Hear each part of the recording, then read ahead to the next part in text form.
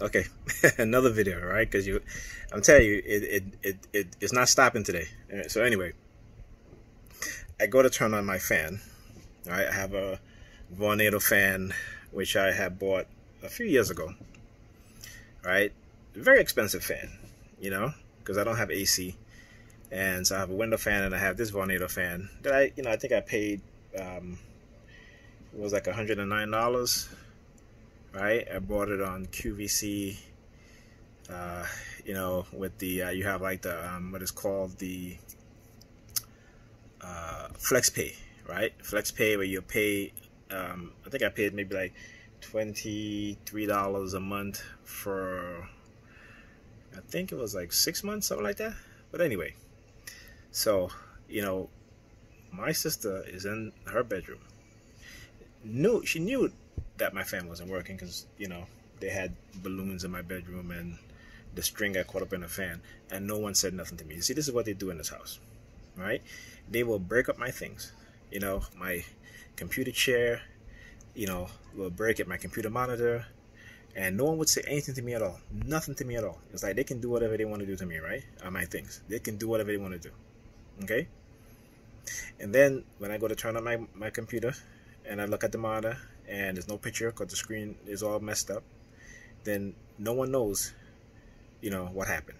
Okay, no one knows what happened. Okay, and then I have to go spend. But this is what this again. This is when you're talking individuals. This is what they do. They destroy your things. Now, if I can afford to move out of here and live on my own, I can. I, I mean, I would, without a heartbeat. With a heartbeat, I never even give pay these people any money anymore. Okay, because I said, family is not just blood. Okay, you can have fam people who call themselves your family and their blood, and they can treat you however. Right? They can participate in your psychological uh, destruction. Right? In your in your in in in in, in the the conspiracy. Right? Uh, conspiring to destroy your life. Okay. And they and they feel very proud about it because they're Christians and I'm not. Okay, I'm an atheist, so you, you can imagine, right?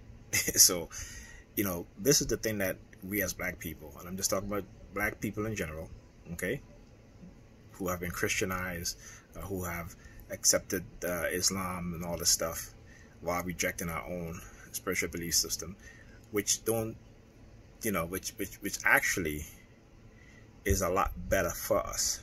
Okay, physically, mentally, spiritually, it is a lot better for us. We follow these European and these um, Asiatic uh, Euro Arabs in in, a, in their belief system, and their belief system is all about destruction because they, they preach love and they say one thing, but if you read the book that they read, it's all about destruction, destroying, destroying, destroying. Okay, no matter what they say. Okay, so again, this is what they do.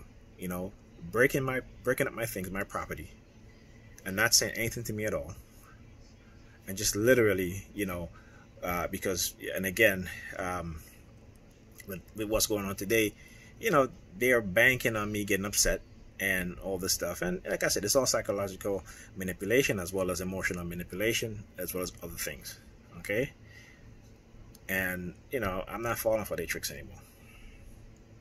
See when you know the inner working when you know the, the program how and what they're doing when you know the technology that's being used it doesn't mean that it doesn't affect you. It just means that you, if you if you learn, if you study, if you profile them as how they profile you, you get to understand what they're like. You get to understand their personality. You get to understand how they can engage in these things.